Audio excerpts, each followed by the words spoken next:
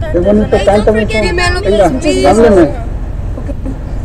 Gracias, con permiso. Ah. No hay que ser tan prepotente,